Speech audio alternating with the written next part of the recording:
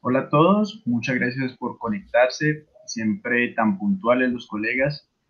En el día de hoy vamos a revisar infección fúngica invasora en el paciente pediátrico. Esto está a cargo de la doctora Mónica Pérez, quien es residente segundo año de pediatría de la Universidad Libre. Muchísimas gracias, doctora Mónica, y bienvenida. Muchas gracias, doctor. Eh, por la presentación. Como lo dijo el doctor Rojas, mi nombre es Mónica Pérez, residente de segundo año de pediatría, y hoy vamos a hablar sobre infecciones fúngicas invasivas. En cuanto a estas infecciones, se han visto como tal la causa de morbilidad y mortalidad en niños, principalmente inmunodeprimidos y hospitalizados en cuidados intensivos pediátricos y neonatales. Y ha aumentado también el riesgo como tal de que estos niños padezcan de estas infecciones por el aumento en el uso de tratamientos con glucocorticoides eh, prolongados, por enfermedades también eh, malignas como tal hematológicas, porque se ha visto un mayor riesgo con enfermedades como leucemias agudas, también en los niños que tienen antecedentes de trasplantes de células hematopoyéticas y trasplantes de órganos sólidos, eh, niños también que tienen inmunodeficiencias primarias o adquiridas y los recién nacidos pretérmino.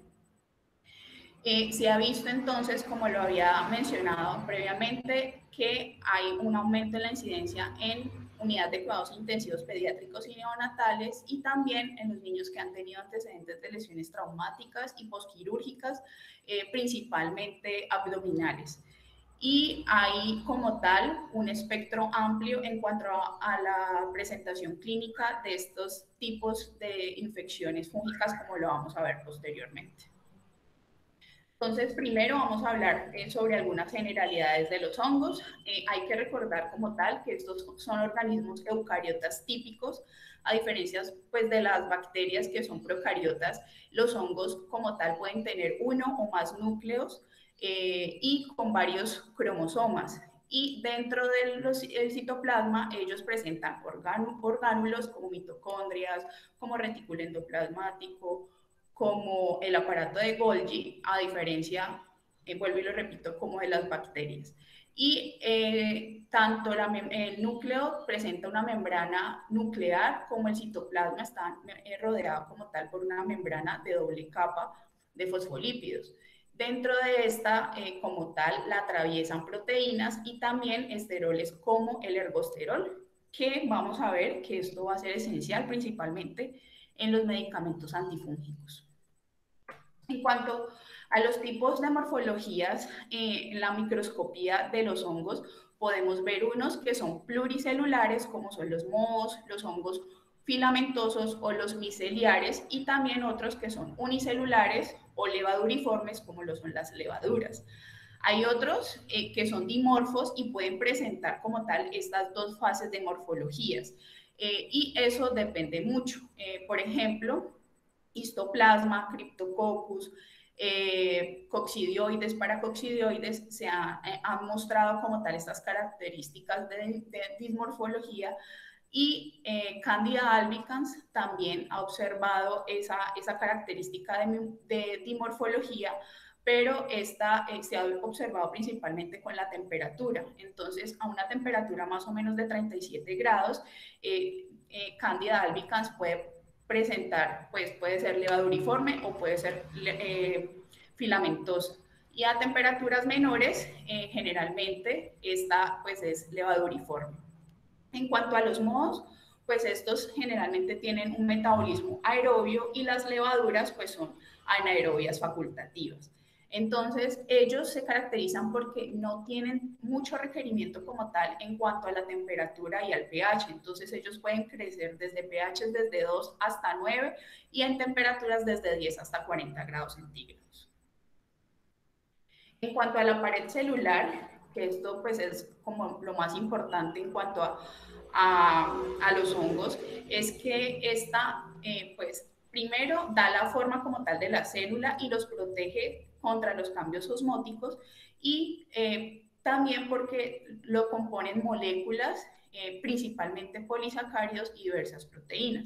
Dentro de los polisacáridos que contienen esta pared, principalmente son la quitina, el manano y el glucano. La quitina pues son polímeros de N-acetilglucosamina y el manano son polímeros de manosa. Y el del glucano son polímeros de glucosa. En cuanto a las moléculas como tal que intervienen en la patogenia de las infecciones fúngicas, también va a depender mucho de la especie del hongo.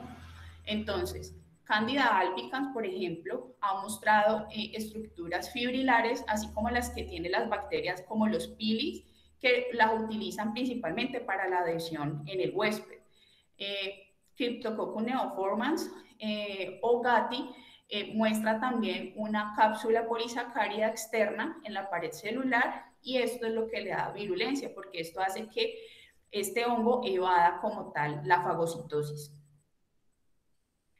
Bueno, ahorita sí, hablando como tal en cuanto a la epidemiología, Cándida pues sigue siendo como tal la principal causa de enfermedades fúngicas en pacientes pediátricos y representa el cuarto patógeno en Estados Unidos y en Europa que causa infecciones en el torrente sanguíneo.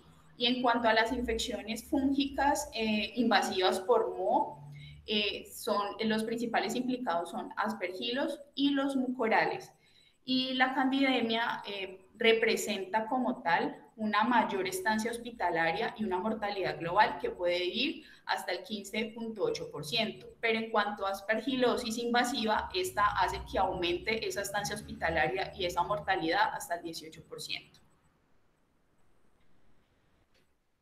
En cuanto a la epidemiología, cada vez vemos más un aumento en cuanto a la incidencia de las especies de Candida no albicans en pacientes pediátricos y en neonatales pueden ir del 52 al 56%. Y en América del Sur, eh, Candida albicans representa aproximadamente el 43.8%. De ahí le sigue Candida parapsilosis, eh, también con un mayor predominio tanto en grupo pediátrico como neonatal.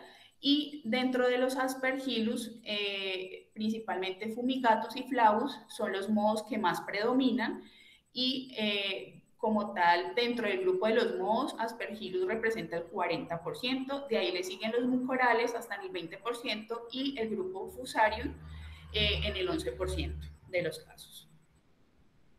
Entonces vamos a empezar hablando sobre la primera eh, infección fúngica invasiva, que es la candidiasis invasora.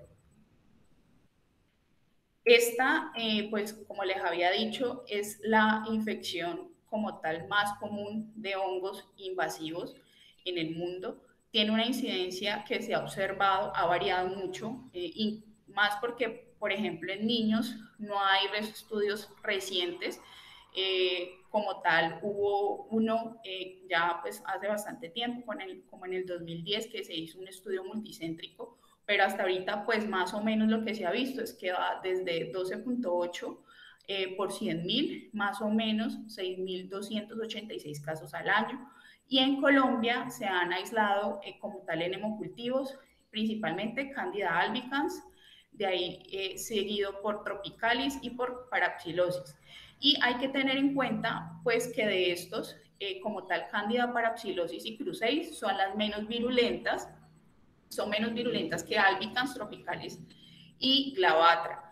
Eh, pero entonces hay que tener en cuenta que a pesar de que, por ejemplo, parapsilosis no es tan virulenta, igual puede producir candidiasis invasiva, principalmente porque tiene una facilidad para, eh, como tal, eh, adherirse, por ejemplo, a los catéteres venosos centrales y a la piel. Dentro de los factores de riesgo, entonces principalmente son los niños recién nacidos y lactantes por eh, la eh, inmadurez como tal en la inmunidad, los cambios fisiológicos también, las disfunciones endocrinas o la administración de esteroides, eh, la terapia con antibióticos porque esta pues disminuye como tal la microbiota intestinal, la desnutrición o la inmunidad alterada porque pues dependiendo del tipo de inmunidad es que hay, va a haber respuesta o no a la infección por cándida. También la ruptura de las barreras naturales, entonces cualquier dispositivo como tal que como tal rompas esas barreras como el, los catéteres venosos centrales, los catéteres peritoneales, las prótesis y cualquier otro dispositivo colocado en músculos, en piel, en torrente sanguíneo o en el sistema nervioso central. También se ha observado factores de riesgo como la nutrición parenteral, una cirugía abdominal previa, eh, porque pues como lo vamos a ver, Candida eh, albicans o cualquiera de las otras especies de cándida pueden también estar como comensales en el tracto gastrointestinal. Eh, la ventilación mecánica y la multicolonización por cándida también se ha observado como factor de riesgo.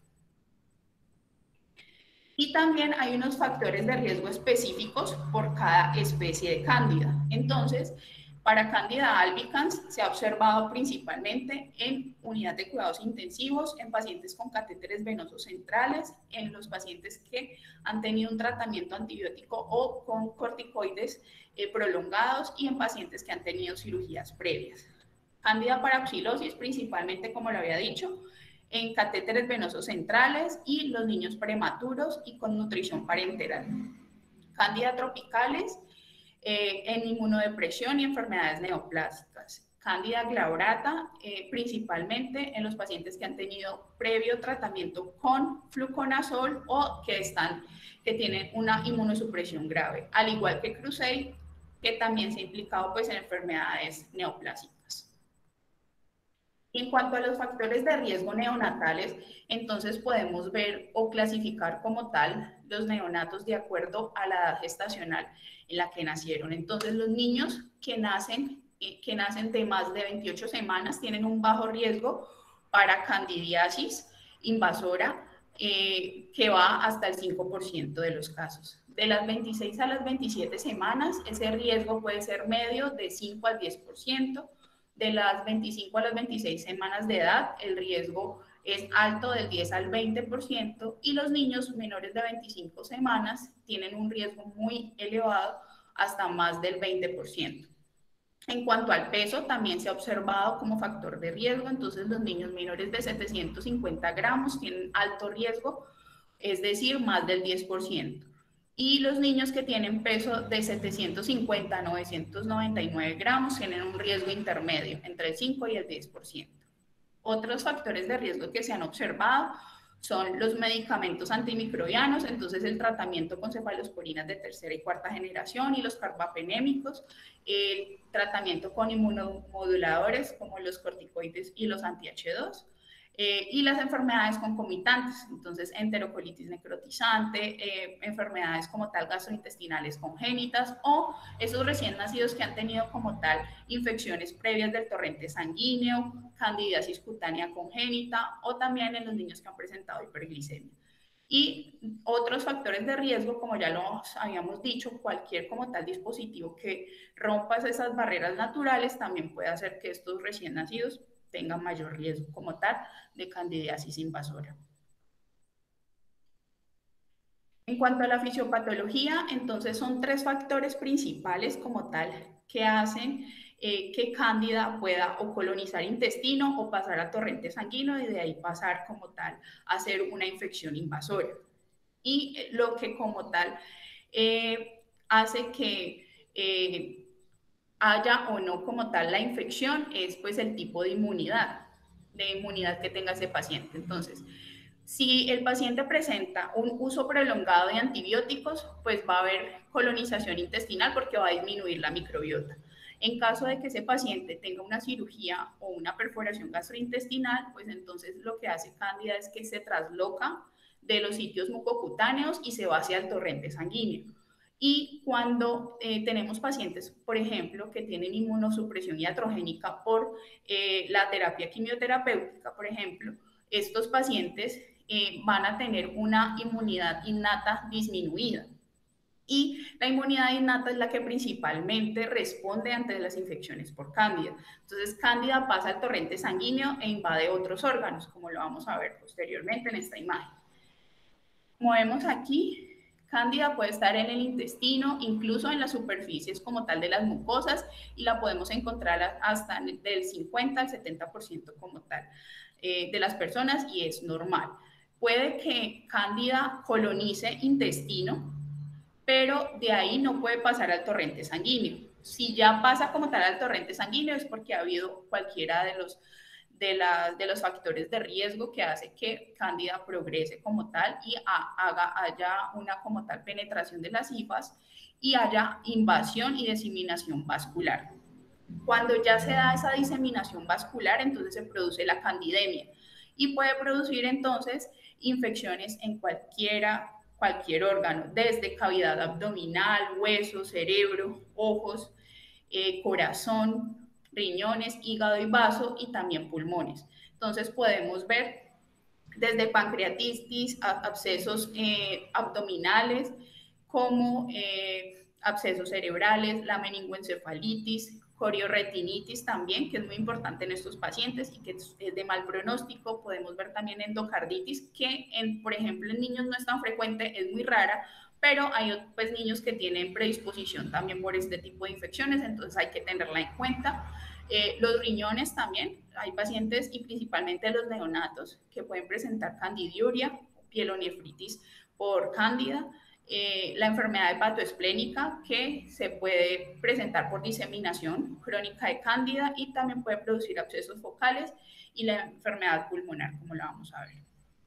Entonces, en cuanto a la meningitis y la meningoencefalitis, vemos que esta presentación es mucho más común en niños que en adultos y a menudo los niños son asintomáticos pero los que son sintomáticos principalmente se presentan con alteración de la conciencia y ya vienen otros síntomas como fiebre, convulsiones, cefalea, rigidez de nuca y parálisis pues, de los pares craneales. En cuanto a la afectación ocular, eh, la principal manifestación es la coriorretinitis y la endoftalmitis, que puede ser uni o bilateral y eh, se pueden observar como tal en el examen oftalmológico como bolas esponjosas en la retina eh, y que son de color eh, como tal amarillento. Y puede haber hemorragia u opacidad vítrea también asociada. En cuanto a la candidiasis, en cuanto a la candidiasis hepatoesplénica, esta, la verdad, eh, la presentación clínica es muy inespecífica, puede ir desde náuseas, vómito, dolor en el cuadrante superior derecho, pero pues esto lo puede producir cualquier otro tipo de infección. Eh, y al igual que la hepatoesplenomegalia o la transaminitis, entonces esto es muy inespecífico.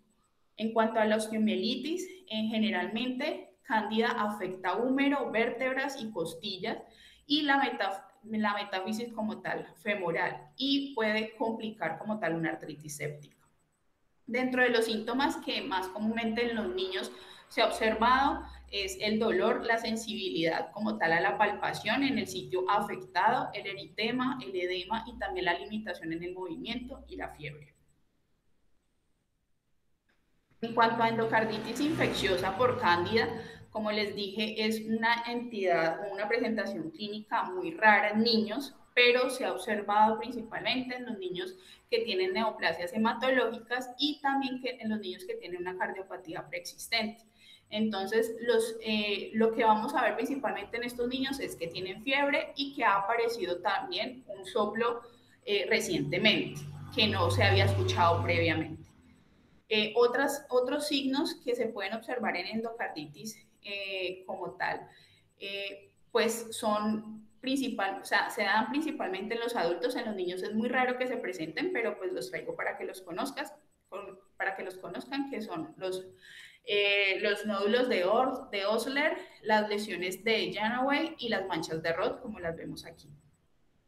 Los nódulos de Osler y estas son las manchas de Roth, las, que vemos aquí. En cuanto a la candidiasis pulmonar, esta generalmente se produce por diseminación hematógena y los, las manifestaciones como tal y los hallazgos radiológicos son eh, muy inespecíficos, pueden ir desde eh, como tal hallazgos que se pueden observar también en adultos como un patrón nodular miliar, también pueden presentarse como opacidades en vidrio esmerilado y por ejemplo en la imagen que vemos aquí como una especie de parches que también la podríamos observar en una neumonía bacteriana multilobar. Entonces, eh, la presentación como tal de candidiasis pulmonar es muy inespecífica y también se puede como tal eh, confundir con otras presentaciones, como por ejemplo de aspergilos.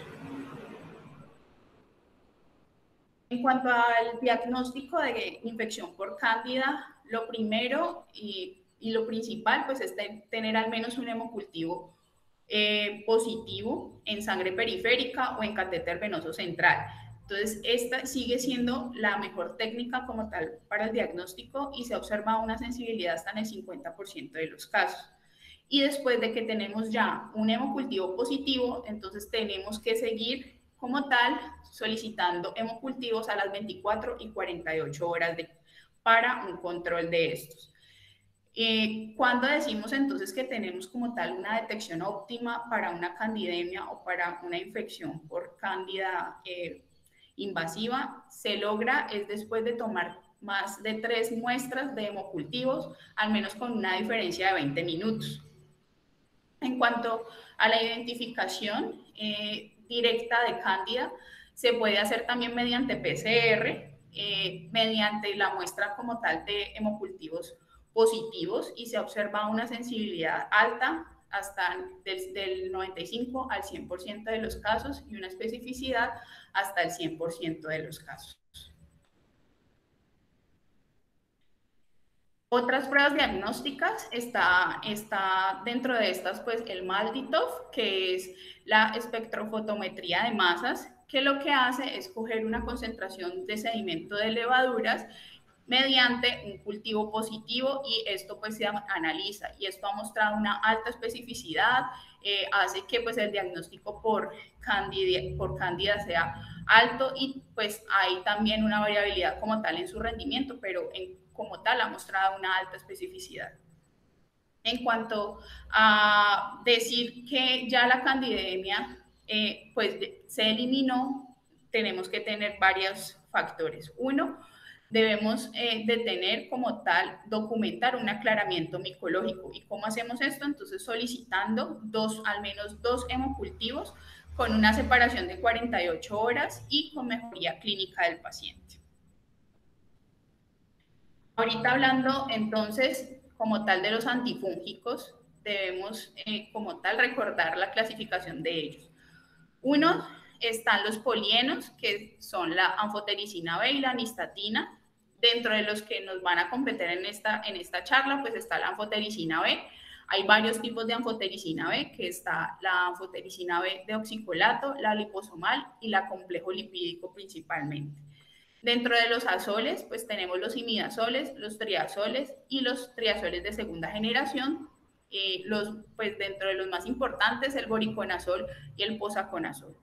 Las alinaminas, como la terminafina, los lipopéptidos, eh, que están en este, en este grupo están las equinocandinas, como la caspofungina, adinulofungina y la micafungina, que también las tenemos disponibles en estos momentos en Colombia, y las, y las pirimidinas, como la, la flucistina, entre otros como tal antifúngicos.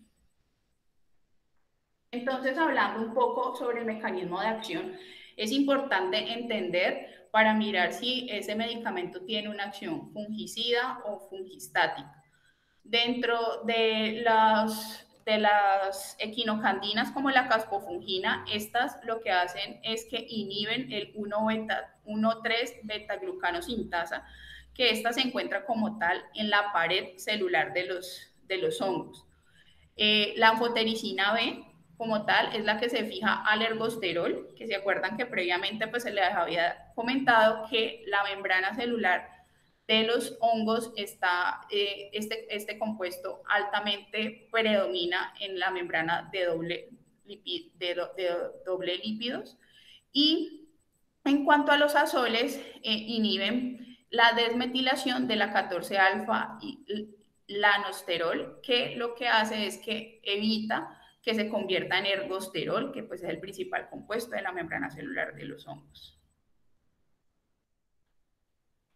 Entrando un poco entonces a hablar del tratamiento, es importante y se recomienda pues en el consenso colombiano como tal de infectología, tanto en niños como en adultos, que se hagan pruebas de susceptibilidad antifúngica en todos los aislamientos clínicos en los que se pueda presentar una enfermedad fúngica invasiva. Eh, porque se ha visto que esa susceptibilidad pues está relacionada con cada especie. Hay unas especies que pueden ser más sensibles o resistentes, pues dependiendo como tal del tipo de especie, y esto puede proporcionar entonces una información útil y es pues la elección como tal para eh, elegir el tratamiento antifúngico dirigido. Entonces, como vemos aquí, el patrón de susceptibilidad de cándida, de todas las especies de cándida, eh, principalmente cándida albicans, ha mostrado ser sensible a todos los antifúngicos tropicales y parapsilosis. La parapsilosis no eh, tiene una sensibilidad intermedia a las equinocandinas y ya otros dependen como tal, eh, son dosis dependiente o también pueden mostrar un grado de resistencia. Entonces, es la importancia como tal de realizar el test de susceptibilidad antes de iniciar como tal la terapia antifúngica.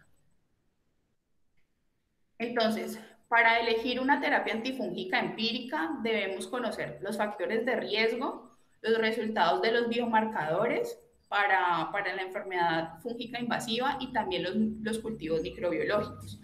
Y el medicamento como tal de elección para cándida son las equinocandinas. Hasta ahorita no se ha observado como tal una diferencia eh, clínica entre ellas, entre las tres equinocandinas, y el escoger una o la otra va a depender de, por ejemplo, las interacciones medicamentosas y de los efectos secundarios que también pueda tener el medicamento. El fluconazol intravenoso eh, en condición no crítica, pues que no, en los pacientes que no hayan recibido azoles, puede ser también como tal una, eh, una alternativa. Y la anfotericina B también es una alternativa en caso de disponibilidad limitada y de intolerancia o no, o a la resistencia antifúngica documentada por otros fármacos. Eh, la guía, como tal, el consenso colombiano, eh, recomienda en dos grupos, pacientes no neutropénicos y pacientes neutropénicos. En cuanto a los pacientes no neutropénicos, eh, se recomienda entonces retirar el catéter venoso central en caso de que los hemocultivos sean positivos y que el paciente esté clínicamente inestable. Si la candidemia persiste, pues se deben también cambiar los accesos endovasculares. Eh, se puede considerar también la implantación de un nuevo catéter central en pacientes en los que ya los hemocultivos sean negativos y en los que ya no hayan eh, como tal signos clínicos de infección activa, según sea necesario. En caso de que se sospeche como tal resistencia a los azoles o a las equinocandinas, se podría utilizar la fotericina B liposomal. La duración como tal recomendada es de dos semanas después como tal de que ya hayan, eh, hayamos tenido como tal hemocultivos negativos y cuando ya los síntomas que nosotros atribuimos a la infección fúngica invasiva se hayan resuelto. En cuanto al esquema de reducción de la terapia, se puede considerar también después de que ya llevemos una terapia de 5 a 7 días y se puede descalonar de equinocandina fluconazol, pero solo cuando el paciente esté clínicamente estable cuando pueda recibir el medicamento por vía oral y que no haya recibido previamente tratamiento con azoles y sean sensibles al, fluconazol. En cuanto a los pacientes neutropénicos, eh, se debe sospechar entonces infección por cándida en los pacientes que presenten más de 7 días de fiebre a pesar del uso como tal de antibiótico de amplio espectro y el medicamento que podría utilizarse en estos pacientes neutropénicos es el boriconazol. Eh, cuando pues eh, los pacientes muestran como tal una neutropenia persistente, pero están clínicamente estables y que sean también sensibles pues a boriconazol y los hemocultivos de control sean negativos. En cuanto a la terapia, eh, a la duración de la terapia, también se recomienda que sea por dos semanas después de que ya hayamos tenido hemocultivos de control negativo y de que el paciente ya no presente ninguna clínica como tal de infección fúngica invasiva. En cuanto a los neonatos, eh, se debe tomar siempre hemocultivos y urocultivos en cualquier neonato que sospechemos infección fúngica. Y en los recién nacidos con hemocultivos y urocultivos positivos por cándida, siempre debemos tomar también En segunda instancia, la punción lumbar y realizar un examen oftalmológico para descartar eh, corioretinitis. Y en los recién nacidos con hemocultivos que persisten positivos, es decir, que después de 72 horas del tratamiento eh, antifúngico empírico, el paciente persiste con esos hemocultivos positivos, entonces debemos eh, buscar como tal que no hayan siembras en otro, en otro órgano, entonces solicitar ecocardiograma, ecografía cerebral y TAC del tracto eh, hígado y vaso. Y en recién nacidos con candidemia persistente en el séptimo día, de la terapia se deben realizar imágenes del, sistema nervioso central y también óseas. En cuanto a los pacientes con candidemia o con infección eh, por cándida invasiva, el tratamiento antifúngico eh, que se recomienda es la anfotericina B de oxicolato. El fluconazol puede ser también una alternativa en caso de que los pacientes eh, no hayan presentado tratamiento previo con azoles y que también sean sensibles a fluconazol. Eh, se puede también considerar la anfotericina B liposomal, pero se debe entonces eh, tener precaución como tal con los efectos adversos que puede tener el tracto urinario. En cuanto a meningitis candidiásica en, recién nacidos, se recomienda ese tratamiento con anfotericina de, de oxicolato. y la anfotericina B liposomal puede ser también una alternativa en estos pacientes.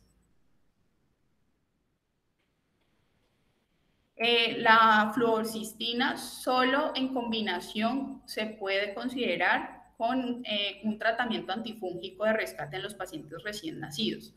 Entonces, los recién nacidos que pesan menos de mil gramos y que se encuentran en UCI con una incidencia, en una UCI que tenga una incidencia de infecciones fúngicas más del 10%, se deben iniciar profilaxis con fluconazol.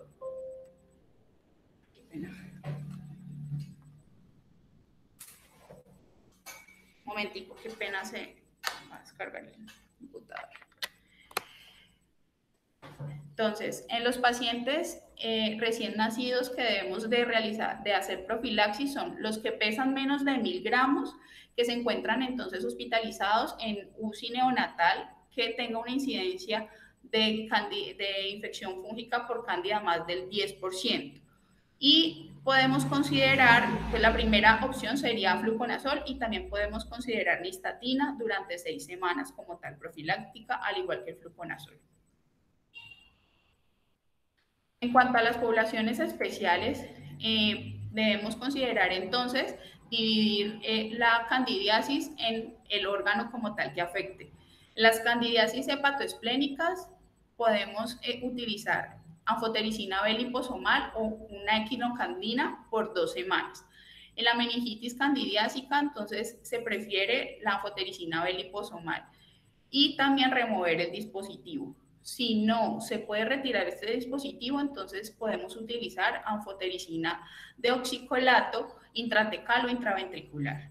Y en caso de endocarditis candidiásica en la válvula nativa, entonces podemos utilizar anfotericina B liposomal o también con el 5-fluoxicina eh, o una equinocandina a altas dosis. Y también podemos hacer cirugía de reemplazo valvular o antifúngico por seis semanas postquirúrgica. En cuanto a la sepsis abdominal, la primera opción es la equinocandina y eh, debemos realizar un desescalonamiento terapéutico más o menos de 5 a 7 días de pasar de equinocandina a fluconazol. En cuanto a los pacientes que tienen diálisis peritoneal o tienen peritonitis secundaria, siempre debemos preferir retirar el catéter y dar al menos un antifúngico por dos semanas. Y en cuanto, a la candiduria sintomática, debemos iniciar eh, de elección, sería principalmente en los recién nacidos el fluconazol por dos semanas. La profilaxis. Entonces, en el consenso colombiano como tal, recomiendan no iniciar eh, profilaxis a todos los pacientes que estén en UCI, ni a todos los pacientes eh, que tienen VIH o que tienen falla renal recomienda sí como tal la profilaxis, principalmente en los pacientes que tienen trasplantes de, de órgano sólido como el de páncreas, que se utiliza entonces y se recomienda el fluconazol durante una semana y en el trasplante de hígado se, eh, se recomienda al menos tres meses después del trasplante de hígado. En cuanto a los pacientes que han tenido una cirugía intraabdominal y que tienen un alto riesgo de infección por cándida, entonces también debemos considerar en qué lado está el paciente. Si el paciente está ya en una UCI que tenga una incidencia más del 10% para infección por cándida, entonces debemos utilizar esto para, eh, como tal, decidir o no darle profilaxis. Esto, pues, asociado con marcadores, como tal, para infección por cándida, o eh, eh, decidir, pues, si como tal requiere un tratamiento o profilaxis para, estas, para esta infección. Listo, ahorita sí vamos a hablar de aspergilosis invasora. Esta es una enfermedad eh, como tal que puede aparecer después de la inhalación de las esporas y el puerto de entrada principal son los pulmones y también la diseminación hematógena. Afecta cualquier órgano entre, entre hígado, corazón o cerebro y se considera una infección oportunista. Principalmente se ha observado en los pacientes que tienen neoplasias malignas o también que tienen trasplantes de órganos sólidos puede ser eh, y puede afectar principalmente a los pacientes que están inmunodeprimidos, aunque se ha observado también que puede eh, ocasionar infecciones en los pacientes que no tienen como tal estos factores de riesgo. Y las infecciones por aspergilosis invasora tienen una tasa de mortalidad que puede ir hasta el 65% de los casos. En cuanto a las estancias hospitalarias pediátricas, estimaron una incidencia anual de 0.4% en 2.000 niños y eh, la especie más frecuentemente asociada es Aspergillus fumigatus eh, como tal y seguido de Aspergillus flavus, Niger y T. reus. Y los factores de riesgo eh, como tal en niños, la verdad no han sido muy bien estudiados pero sí se sabe que principalmente pues, son los pacientes inmunosuprimidos que han tenido eh, antecedentes de trasplantes de células hematopoyéticas, antecedentes de VIH, enfermedades granulomatosas crónicas, los pacientes que tienen neutropenias persistentes y los pacientes que tienen terapia eh, con corticoides eh, a altas dosis en periodos prolongados, también se ha observado como tal ese riesgo. Como tal, esos factores de riesgo se han observado o se han estudiado más en, la, en los adultos. Y, por ejemplo, en esta tabla que traje aquí, esta eh, como tal es la estratificación del riesgo en los pacientes adultos, que va desde una incidencia eh, con riesgo bajo, eh, como tal de aspergilosis invasora menos del 2%, del 2 al 5% y más del 5%. Y como vemos en esta, en esta tabla, los que más alto riesgo tienen como tal de aspergilosis invasora son los pacientes con leucemia mieloide aguda, con trasplante halogénico, con trasplante pulmonar y aplasia medular. En cuanto a la presentación clínica, los sitios primarios entonces que afectan como tal a aspergilosis eh, son los pulmones y los senos paranasales y solo se puede ver más o menos signos y síntomas hasta en la mitad de los pacientes pediátricos. Esos síntomas también son inespecíficos, pueden ser tos, dolor torácico, que puede ser pleurítico o no, también dificultad respiratoria. Y dentro de los signos que más se han encontrado en niños son la taquipnea y el requerimiento de oxígeno, principalmente también en neonatos. En cuanto a la rinosinusitis que produce aspergillus, también se puede observar fiebre, rinorrea, congestión, dolor y entumecimiento facial y cefalea. Después, como tal de la enfermedad pulmonar eh, y también la sinusal, aspergillus afecta cerebro y se ha visto en pacientes pediátricos hasta en el 15% de los casos. Eh, también se ha visto que los pacientes pediátricos no siempre presentan síntomas, solo se ven hasta en la mitad de los pacientes y pueden tener también una presentación clínica variable, puede ir desde abscesos cerebrales, meningoencefalitis o vasculitis. Y estos también pues, pueden ser hallazgos como tal radiológicos que podemos observar. Eh, dentro de los síntomas más comunes en niños eh, son principalmente la alteración de la conciencia y la afectación como tal de los, de los pares craneales. El compromiso cutáneo también se ha observado principalmente más en niños que en adultos y la lesión eh, generalmente no es típica, pero presenta unas características que nos pueden hacer sospechar de la, de la infección por aspergillus. Como vemos aquí en esta imagen, generalmente puede haber una úlcera con un centro necrótico eh, y que puede tener o no eritema circulante y puede tener también celulitis asociada. En cuanto al compromiso cardíaco, este es, generalmente se observa en pacientes que eh, son neutropénicos y puede ir desde derrame pericárdico, trombos o endocarditis. En cuanto a otra presentación clínica de la aspergilosis que se ha observado, está la broncopulmonar alérgica, el aspergiloma y la aspergilosis invasiva crónica. Esta, eh, como tal, es una reacción de hipersensibilidad que produce aspergillus y eh, generalmente es una complicación que presentan los niños con asma y con fibrosis quística. Estos pacientes generalmente presentan unos niveles altos de inmunoglobulina E eh, total y también niveles aumentados de anticuerpos contra inmunoglobulina específicos para, por ejemplo, aspergillus fumigatus. Hay también unos criterios diagnósticos de aspergilosis invasora que estos también se han, eh, utilizado principalmente en adultos. Eh, están los factores como tal del huésped, factores clínicos y factores micológicos. Y de acuerdo a esos factores como tal, determino si hay una infección por aspergillus posible, probable o probada. Es posible cuando hay factores del hospedero y factores clínicos. Es probable cuando tengo al menos un factor del hospedero, uno criterio clínico y un criterio micológico. Y la probamos cuando tenemos la eh, localización de aspergillus en cultivos de cavidad estéril o sangre o en estudios histopatológicos que demuestren también una infección invasiva fúngica.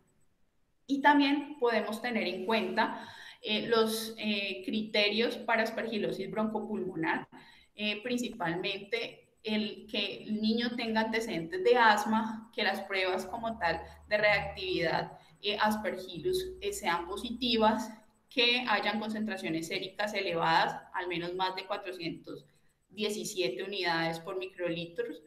Eh, cuando hay eosinofilia más de 500, cuando tenemos también infiltrados pulmonares o radiográficos en tórax, en radiografía de tórax o en tomografía de tórax, y cuando tenemos bronquiectasias y la elevación específica de inmunoglobulina E o inmunoglobulina G frente a aspergillus fumigatus. Estos son también criterios que nos hacen pensar como tal en que ese paciente esté cursando con una aspergilosis broncopulmonar alérgica.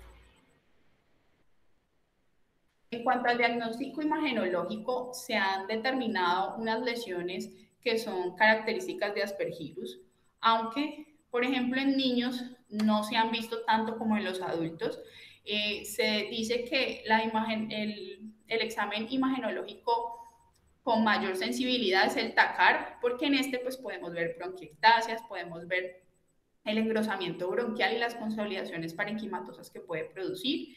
Y también podemos ver el aspergiloma, que es como una masa redonda que también puede verse como con, con un borde de aire, como lo vemos en esta imagen, este borde de aire, o imagen en media luna, que es como una de las lesiones características que se ha observado en aspergilosis y entonces podemos ver desde manifestaciones tempranas hasta como tal cuando ya esté el aspergiloma eh, como tal desarrollado. Entonces, lo primero que generalmente produce el aspergillus es, son las consolidaciones en los lóbulos superiores, posteriormente va a producir cavitación y luego ya como tal la formación del aspergiloma cuando produce un engrosamiento pleural.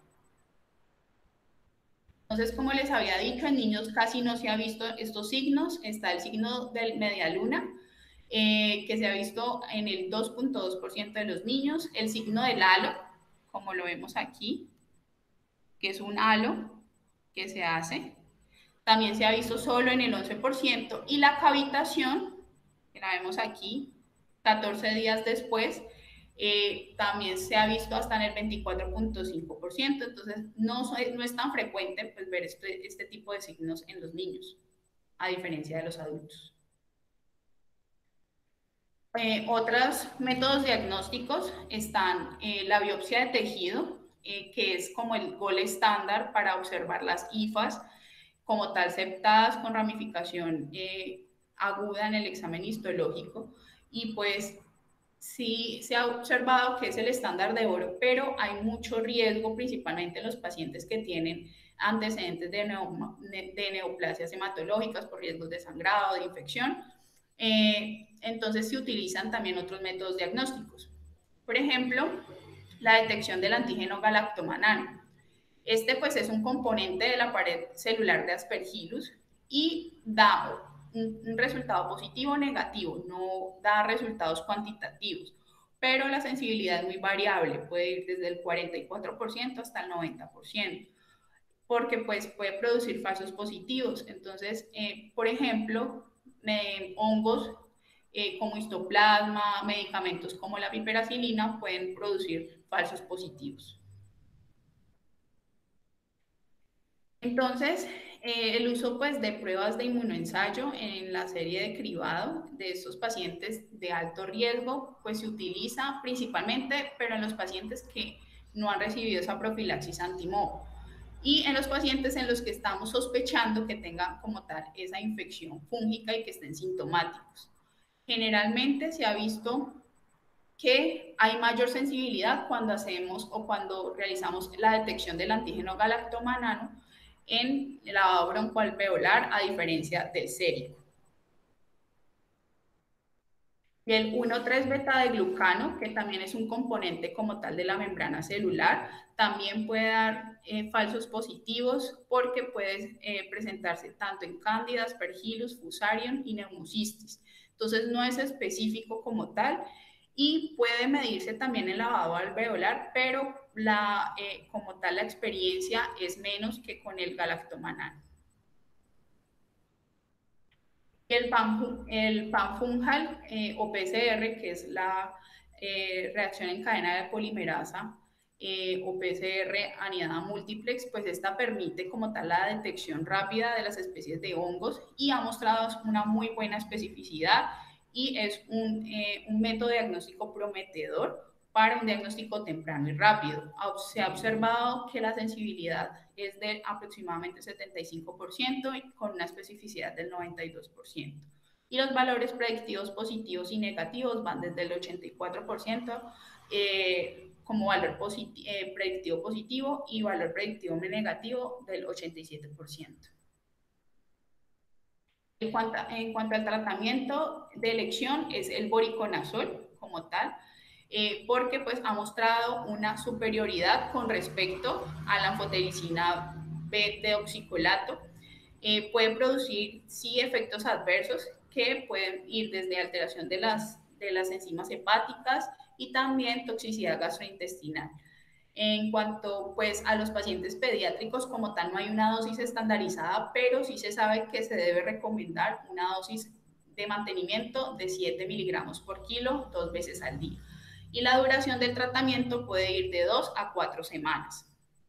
Y se puede o no eh, también asociar a, cas a cascofungina eh, si presenta, si tenemos aspergilosis pulmonar o también el sistema nervioso central. Si solo tenemos eh, como tal una infección sinusal, podemos utilizar simplemente boriconazol.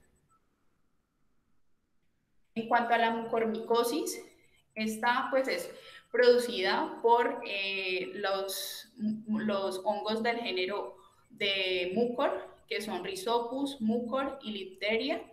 Eh, los factores de riesgo que se han observado principalmente para la infección por estos hongos son diabetes, la malignidad, los pacientes que han sido sometidos a quimioterapia y que han tenido también inmunoterapia contra el cáncer, eh, contra trasplantes de órganos sólidos y también trasplantes de células madre hematopoyéticas. Eh, la mortalidad que se ha observado con, estos, eh, con, esta, con la infección por estos hongos ha sido hasta el 80%, pero esta se ha reportado principalmente en adultos. Y se ha visto también que hay un peor pronóstico cuando los pacientes presentan neoplasias hematológicas en los pacientes que han tenido receptores eh, de trasplantes de células hematopoyéticas y en aquellos que han tenido también quemaduras extensas. En cuanto Eh, a la enfermedad diseminada, que, principalmente afecta el sistema nervioso central, se ha observado una tasa de mortalidad mucho más alta. Pero vuelvo y lo repito, pues esto se ha observado principalmente en adultos, en niños, pues como tal, eh, no se ha, visto una, eh, como tal, no se ha llegado a una tasa de mortalidad como tal específica. En cuanto a las manifestaciones clínicas, podemos eh, ver en pacientes inmunodeprimidos principalmente, eh, pues el factor de riesgo para la infección es que inhalen las esporangiosporas y que cause la infección pulmonar. Ya pues teniendo como tal una mucormicosis pulmonar, esta pues se desarrolla en pacientes que generalmente presentan neutropenia profunda y también en aquellos que tienen una enfermedad de injerto contra huésped. Los pacientes diabéticos generalmente presentan son infecciones eh, rinorbitarias y en la mayoría pues se observa infección. Eh, eh, en, la mayoría de las infecciones por estos hongos se observa fiebre prolongada y algunos también pueden ser asintomáticos. Los síntomas son muy inespecíficos. Entonces, como podemos ver, las lesiones suelen ser muy evidentes desde escaras negras, que son las lesiones típicas, y que pueden afectar como tal todo lo que son etmoides, todos los huesos paranasales. En cuanto a las manifestaciones pulmonares, podemos presentar consolidación, cavitaciones, abscesos, nódulos y masas y pueden ser unifocales y afectar también el lóbulo superior, como también lo puede afectar aspergillus o también lo puede afectar cándida entonces también son manifestaciones inespecíficas. Lo que sí se ha visto es que ellos pueden presentar el signo del halo inverso, que a diferencia de aspergilosis, en la mucormicosis pulmonar, ese, el signo de halo inverso es, eh, este paciente eh, presenta el signo de media luna, pero en forma de consolidación. Se asocia entonces también en estos pacientes cuando encontramos más nódulos pulmonares, más de 10, y cuando hay una mayor frecuencia de sinusitis y de derrames pleurales. En cuanto a las manifestaciones sinorbitarias, eh, podemos presentar opacidad en los senos paranasales, erosiones óseas y también obliteración en los planos profundos. Y estas son características como tal que podemos observar en las imágenes, tanto en resonancia como en, la, en, el TAC. La erosión ósea como tal no es un marcador sensible de sinusitis, eh, como tal, ni tampoco indica la extensión al sistema nervioso central. Y debido pues, a que el drenaje venoso de los senos etmoidales se extiende a los senos cavernosos, estos pacientes también tienen un riesgo de realizar trombosis del seno cavernoso. En cuanto al diagnóstico, entonces principalmente va a ser imagenológico con el signo del halo inverso y eh, en la angiografía pulmonar también podemos ver oclusión de los vasos. En cuanto a los pacientes diabéticos, eh, podemos, eh, estos pacientes pueden presentar síntomas como dolor facial, sinusitis, proctosis, oftalmoplejía y amaurosis de reciente aparición. Y también, si sospechamos esto en estos pacientes, lo primero que debemos de realizar son imágenes tomográficas para mirar bien el compromiso como tal sinocular. En cuanto a, otros métodos diagnósticos, está el de la microscopía directa con fluorescencia, en el que observamos las hifas no pigmentadas eh, en secciones que generalmente podemos ver eh, tabicación o no tabicación. Por ejemplo, eh, Rhizopus no, tiene hifas no tabicadas, entonces pueden o, no estar presentes esas hifas tabicadas. Y en cuanto a los métodos de base molecular para la detección directa, tenemos los métodos moleculares en material clínico, eh, como secciones de parafina, y pues este se prefiere eh, el material como tal eh, fresco, incluido la parafina, para como tal, para que no dañe esa formalina en el ADN.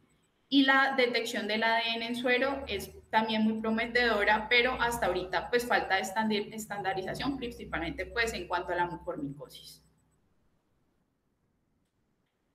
En cuanto al tratamiento, eh, eh, los medicamentos eh, no hay como tal uno en específico que se prefiera más que otro, pero sí se debe tener en cuenta principalmente la, la afectación del órgano como tal que se vea implicado. Por ejemplo, si el paciente tiene compromiso del sistema nervioso central, se va a preferir anfotericina B liposomal, al igual que si ha tenido un antecedente de trasplante de órgano sólido, entonces podemos eh, preferir anfotericina B liposomal o complejo lipídico.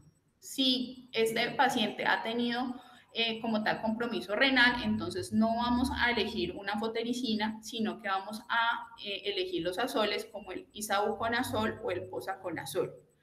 Y esto pues va a depender también eh, como tal si el paciente pues presenta una enfermedad extendida, una mucormicosis extendida o más localizada como una infección sinofacial. También podemos eh, vigilar la respuesta del tratamiento por medio de imágenes. Entonces podemos ver la evolución por medio de TAC o resonancia magnética a la semana. Si hay una respuesta eh, parcial o está estable como tal, el paciente no ha empeorado, podemos continuar el mismo tratamiento con isavuconazol o con posaconazol. Si la enfermedad progresa, entonces podemos eh, incluir también pues, el tratamiento junto eh, con eh, anfotericina liposomal más una sol. Y si hay riesgo de toxicidad, entonces preferir anfotericina B liposomal o anfotericina B eh, de complejo lipídico. El tratamiento también va a variar mucho en estos pacientes, dependiendo de si estos pacientes del compromiso que tengan y si han tenido infección previa o no por otros microorganismos. Dentro de los hongos, eh, otros hongos invasores, tenemos unos que no, no, se han visto tan frecuentemente implicados, pero que cada vez como tal han aumentado en incidencia. Está el fusarium, que causa fusariosis. Eh, este como tal se ha observado en pacientes inmunocompetentes eh, que tienen infecciones diseminadas también o en inmunodeprimidos se encuentran en el suelo y en el aire.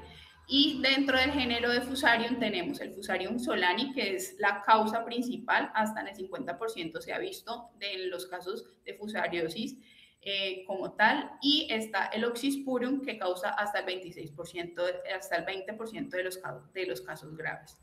Dentro de las vías de inhalación eh, de, estos, de estos hongos, tenemos que al inhalar como tal, eh, las micro, los microconidios, entonces eh, vamos a producir como tal la infección y principalmente si se, eh, hay como tal una, una, transmisión por vía directa o por lesión traumática. También puede afectar eh, piel, tejidos blandos, pulmones, senos paranasales y en los hemocultivos podemos ver que son positivos hasta en el 70% de los casos. Dentro de las lesiones cutáneas papulares o nodulares eritematosas eh, que pueden presentar estos pacientes, al igual pues que las, la, la eh, podemos ver que esos pacientes tienen esas lesiones y son la característica como tal eh, de, de, la infección por fusariosis. La cedosporiosis, que es producida por cedosporium, son hongos saprofíticos ubicuos que se encuentran también en áreas templadas y pueden iniciar distintas enfermedades desde micetoma hasta S2-poriasis. Estos, eh, esta infección por estos hongos se pueden ver tanto en inmunocompetentes como también en inmunodeprimidos. Y eh, los pacientes presentan principalmente infecciones pulmonares, cutáneas y cerebrales. Y la infección también puede afectar los senos paranasales o los huesos. El tratamiento como tal de estos hongos, de fusariosis, de, lomentosporiosis y de sedosporiosis, de primera línea están los azoles como el, boriconazol y como una alternativa podemos considerar la fotericina B liposomal o de, o de complejo lipídico. Y de segunda línea podemos también utilizar medicamentos como el isavuconazol.